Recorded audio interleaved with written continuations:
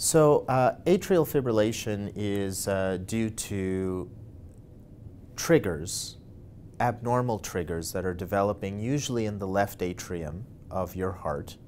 And these triggers then set off the irregular and rapid heart beating, which you know as atrial fibrillation.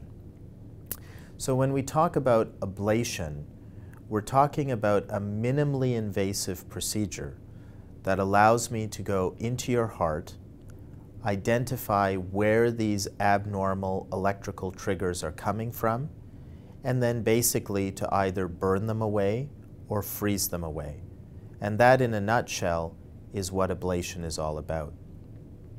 To give you a little bit more detail, we perform the ablation by inserting small little tubes into the veins of both of your legs as well as potentially into a small vein in your neck.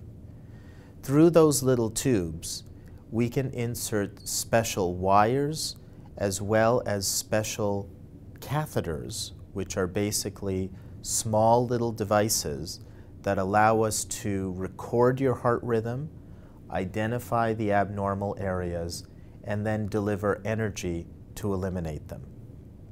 So this is an example of one of the catheters that we would be inserting through your veins and into the heart. And you can see that the tip of the catheter is metal, so it can record electrical signals from the heart. But at the same time, this connects into an energy source which allows us to burn those abnormal signals away. The catheters are also capable of moving and this is the way that we control where in the heart the catheters are going. The ablation procedure on average takes about two to three hours to perform and you are usually very heavily sedated during the procedure. Sometimes it can be done under a full general anesthetic. During the procedure, we then insert the tubes, place the catheters in your heart, and complete the procedure and after the procedure is finished, you'll go to our recovery area where the nurses will then pull the tubes out of your leg and out of your neck. At this point, you'll have to be in bed rest for four to six hours, and usually we'll keep you in one night after the procedure, and then you go home early the next morning.